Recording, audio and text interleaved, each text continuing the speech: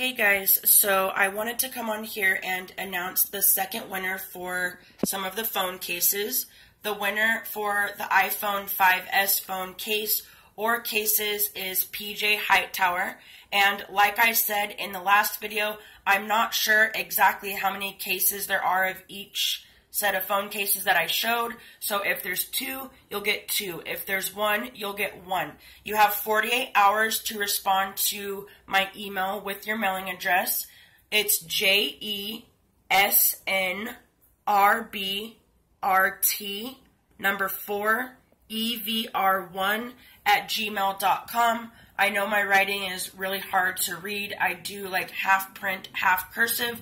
Also, I haven't heard from the first winner for the phone cases. I believe the winner was Gamerman. So if I don't hear from you, Gamerman, by tomorrow, sadly, I will have to pick a second winner for those phone cases. So congratulations once again, PJ Hightower. I look forward to hearing from you. And there will also be a third winner for the bulk of the items that I showed in the first giveaway video. Bye, guys.